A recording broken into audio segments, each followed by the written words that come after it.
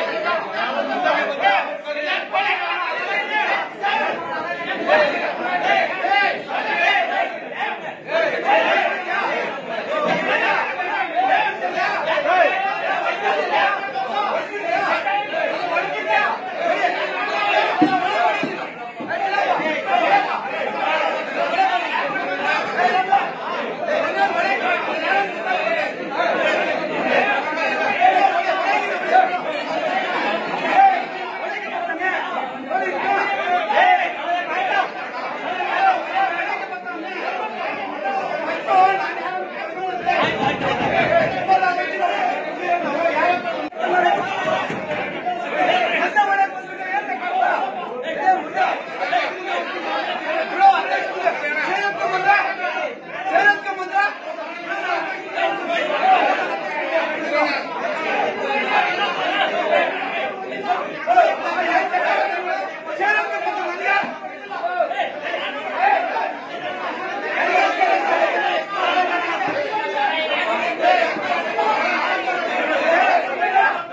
ಇರೋರು.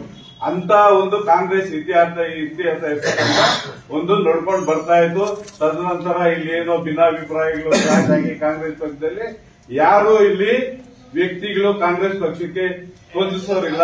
ಈ ಏನು, ನೀವು ನೋಡಿದೀರ ಜನತಾದಳ ಜನತಾ ಪರಿವಾರ, ಚಕ್ರ, ಗೊತ್ತು, ನೇಗಿಲು ಹೊತ್ತ ರೈತರು ಬಾಣ, ಎಲ್ಲ ಟ್ಯಾಕ್ಟ್ರು, ಎಲ್ಲ ಆಗಿ ಕೊನೆಗೆ ಇಲ್ಲಿ ಬಂದು ನಿಲ್ತಾ ಇದೆ ಅವತ್ತಿನ ದಿನಗಳಲ್ಲಿ ಕಾಂಗ್ರೆಸ್ ಪಕ್ಷಕ್ಕೆ ಯಾರು ಇರ್ಲಿಲ್ಲ ಕ್ಯಾಂಡಿಡೇಟ್ ಅಂದ್ಬಿಟ್ಟು.